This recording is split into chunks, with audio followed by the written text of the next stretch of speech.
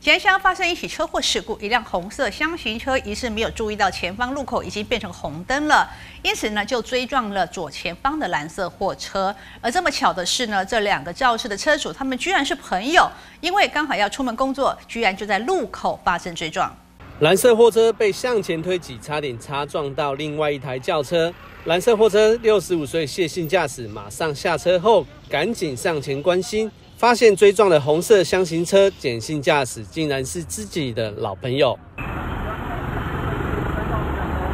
简性驾驶因为车体变形溃缩，方向盘压住大腿，卡在车内。消防人员到场之后，立即进入车内安抚简性驾驶情绪，接着将简性驾驶慢慢移动受压迫的腿部，顺利将他拖出车外。八时许啊，在吉安乡海岸路段哦，发生一起交通事故。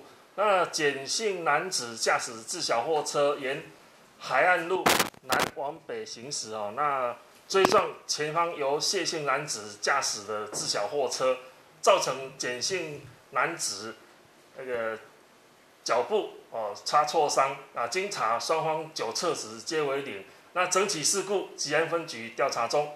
简姓男子驾驶自小客车沿海岸路南往北行驶，追撞前方由谢姓男子驾驶的自小货车，造成简姓男子身体擦挫伤，双方酒测值皆为零。肇事的原因，警方仍在厘清当中。